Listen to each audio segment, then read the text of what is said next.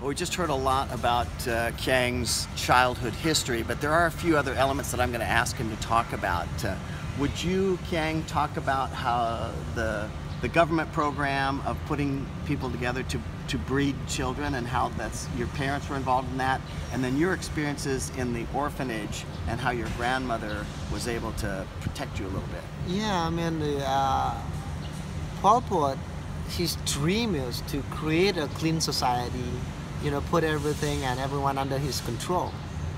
But to make this happen, everyone has to be executed because those people they have gone through many different society and have been educated, they would not listen to him.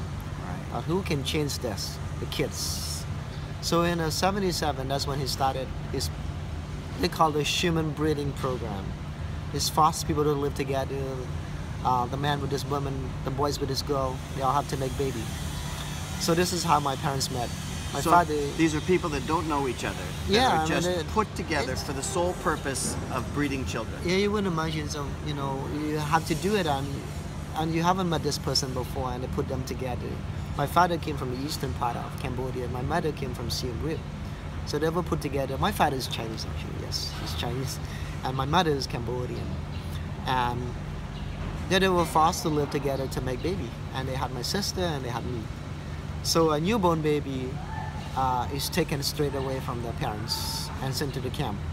And they all live together there. But luckily they gave a job to my grandmother to work as a house mother to take care of all the babies. And she identified me and my sister. So the day the revolution collapsed, she took us and ran.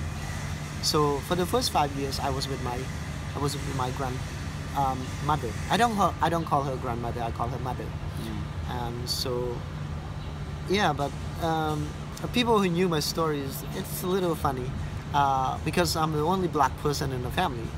You're so a black all, person. Yeah, only black. You know, my sister is white, my father, my mother, my grandmother. So the people who knew my stories, they, they always said to me, it's kind of teasing, you know, you probably not this part of the family. Probably your grandmother took a wrong child. because of my skin colors.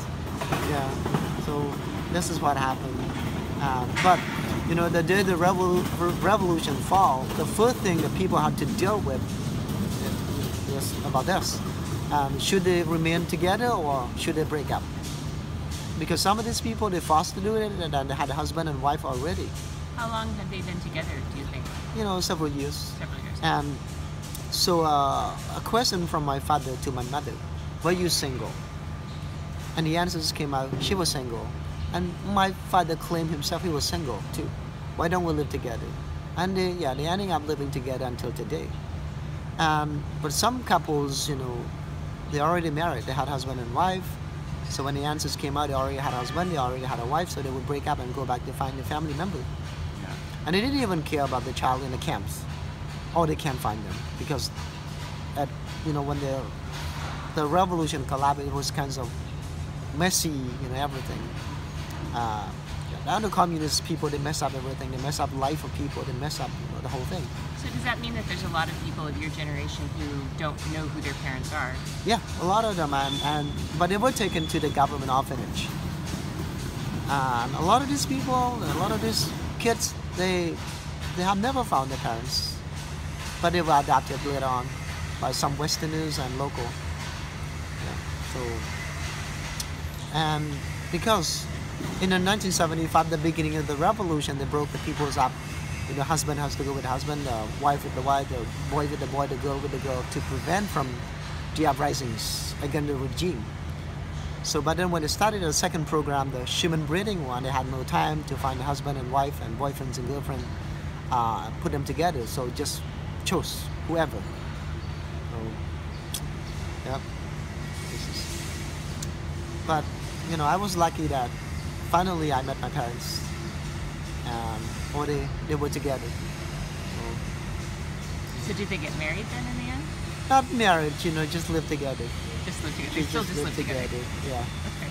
So how were you? What's the story of you being reunited with them? How how did that happen? The transition from your grandmother raising you to meeting your parents again and all being back together. So uh, I I was taken by my grandmother to the hometown So we arrived there, arrived there earlier, earlier than my mother.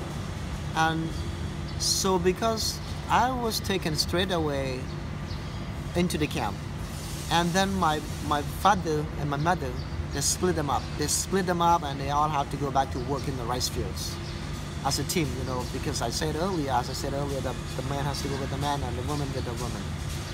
So the rule is if they work hard enough, they would allow them to see each other once every six months.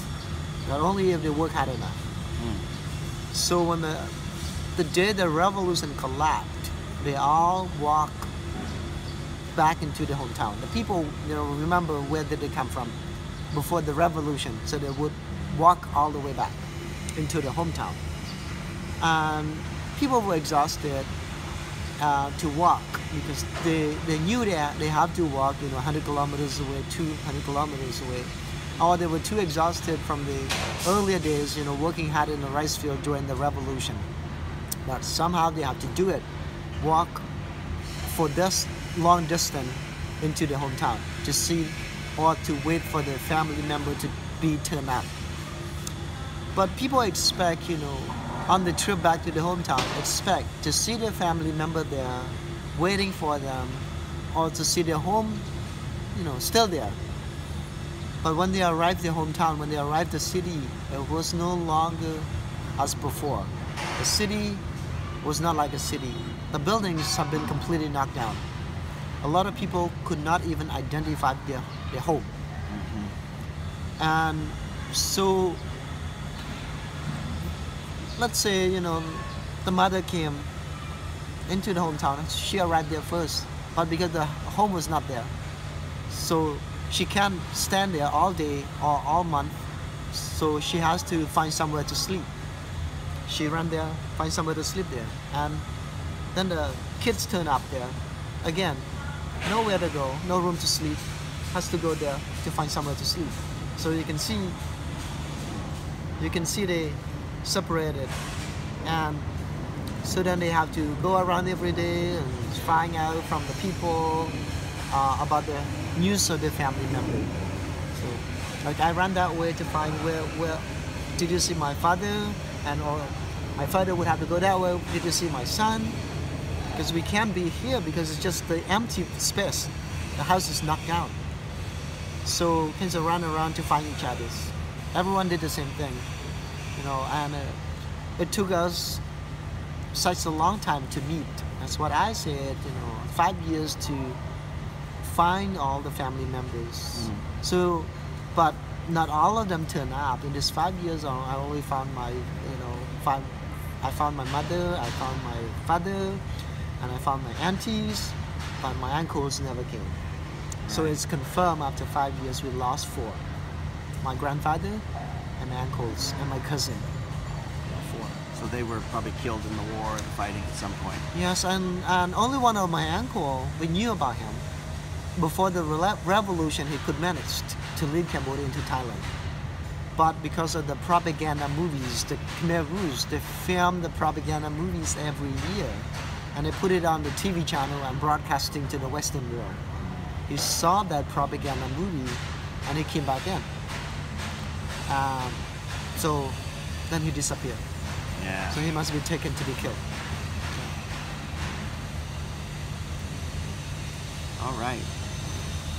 So, I do appreciate you sharing this personal departure story, and I, I just want to say again, this is what we travel for. You know, this is so foreign to our experience as Americans, but it's so good for us to meet someone like you that's lived through a revolution, communist rule, war, and has come out on the other side and, and built such a great life for yourself. So, thanks for sharing. Thanks for being there for my you. groups. Thank you. Thank you. Akun. Akun. Akun.